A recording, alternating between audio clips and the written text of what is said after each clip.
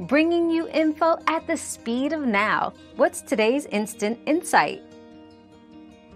If you forget your Apple Watch passcode, you can reset it using the paired iPhone.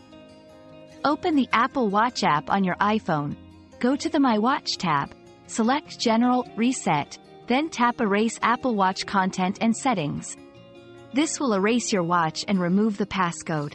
Note, you'll need to repair your Apple Watch to your iPhone and restore it from a backup, if available, to regain your data. Your daily dose of discovery ends here, but the journey of learning never stops. Subscribe and join us again for more answers tomorrow.